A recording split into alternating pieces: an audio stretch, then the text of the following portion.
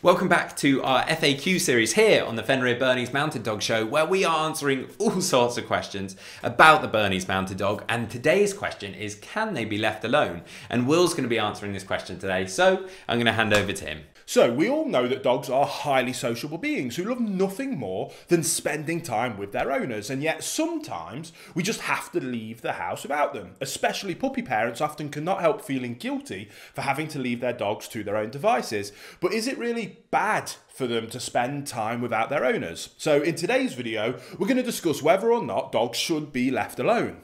So then, we will begin with the first reason why leaving your dog alone at home might actually be very good for them. And that is that alone time can build confidence. If you just got a new puppy, you might be tempted to spend all your free time with them. And there is no doubt about it. With their innocent charm, their adorable clumsiness, and their cute, cuddly looks, puppies are irresistible. However, if you keep showering them with fuss and affection all the time, you might do them a disservice.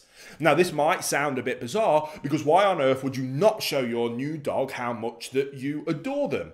Now, of course, I'm not suggesting you should withhold love from your puppy, but if you make it a habit to give your young dog the opportunity to be on their own sometimes, you will thank yourself in the future, guaranteed.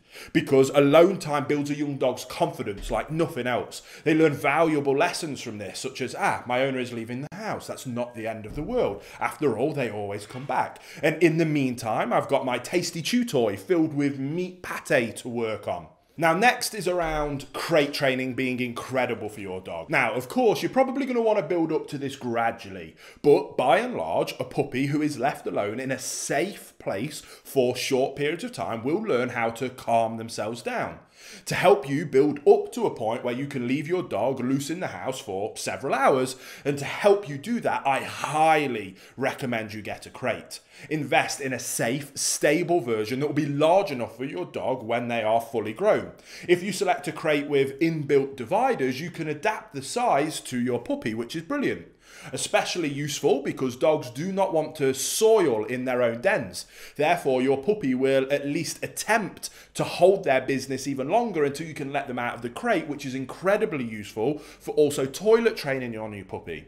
Now, crates are not only fantastic training tools for your puppy, but if you have adopted an adult dog into your home, you can absolutely get them used to the crate as well. Most likely, they will readily embrace the crate as their new sleeping place, especially if you have made the space a nice one and an inviting place to go. To do so, put a soft dog pillow or a thick blanket or a bed into the crate and cover the top with a blanket. In this way, you create a, den like atmosphere which really naturally appeals to dogs and they find very secure and safe. Now, another tip to help manage your dog's alone time is by planning ahead and being proactive. As we said, giving your dog alone time does help them to build up confidence and it teaches them to calm themselves down.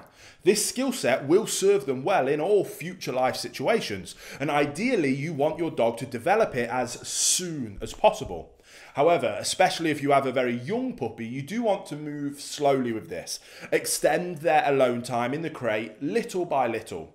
If for any reason you cannot do that and you have to kind of throw them right in at the deep end, right from the very beginning, planning ahead will help you and your dog getting used to time spent away from one another. Hey guys, if you want perfect puppies, like all my mates here are, and you're interested in how it is that as a professional canine behaviourist I go about raising and training perfect puppies, I have a completely free course that I think you might be interested called The Principles to the Perfect Puppy. There'll be a link down in the description box below. It is completely free of charge and you can go and check it out right now. So I can't wait to see you over there.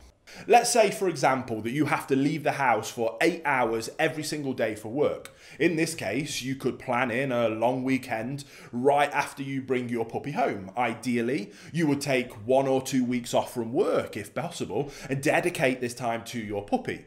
This will help your dog getting settled in more comfortably, but much more importantly, it will also give you time to bond with them and begin that crate training in a more gradual manner rather than having to chuck them right in at the deep end if you have to go straight back to work.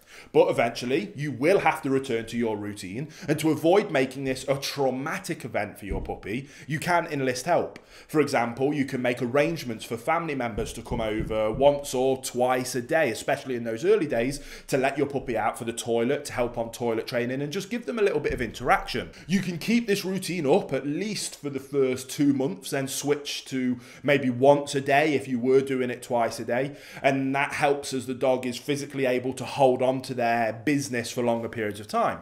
Ideally, these visits will leave the puppy pleasantly tired and content, and after they have received an appropriate dose of exercise and food and physical interaction, they should be more than happy to sleep for the majority of the time they spend back in their crate. If you have no family members or friends who are willing to take over these puppy duties while you're at work, you can hire a, a dog sitter or take your puppy to a reputable doggy daycare, especially in those early days. So, in my opinion, yes, dogs should be taught how to be left on their own. Of course, in the ideal world, we will always have someone at hand to stay at home with our puppy, at least until they are a bit older and a bit better trained to be able to be left loose in the house.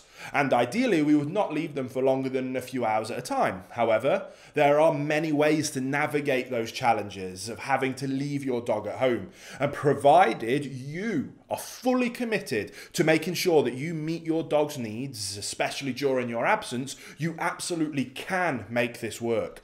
Alone time does not have to be bad for your dog. In fact, it can be an incredible thing.